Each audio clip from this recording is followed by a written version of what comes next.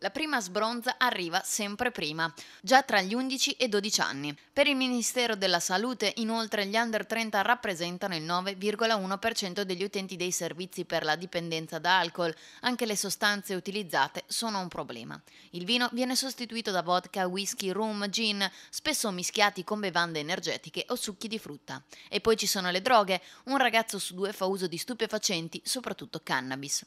La novità riguarda il repentino abbassamento dell'età della prima assunzione. Si iniziano a fumare spinelli a 11-12 anni, mentre le pasticche vengono utilizzate a 13-14 anni. Tra i più grandi è ormai diffusissima la cocaina, mentre l'eroina è in lieve ma costante diminuzione. Ci sono poi altre dipendenze ancora nascoste e difficilmente rilevabili, come quelle da shopping compulsivo, gioco d'azzardo, cibo e social network. Secondo una ricerca inglese, 6 ragazzi su 10 non si separano dal cellulare nemmeno a letto, lasciandolo sempre acceso, e addirittura il 36,7% manda un sms durante la notte. Di queste vecchie e nuove dipendenze che destano più di una preoccupazione si parlerà al primo convegno Supereroi fragili, adolescenti a scuola tra vecchi e nuovi disagi, organizzato dal Centro Studi Ericsson il 24 e 25 ottobre a Rimini. Nel corso del workshop Uso, abuso e dipendenza dalle sostanze stupefacenti alle nuove dipendenze, Ulisse Mariani, psicologo e psicoterapeuta dell'ASL di Viterbo, assieme alla collega Rosanna Schiralli dell'associazione Emotional Training Center,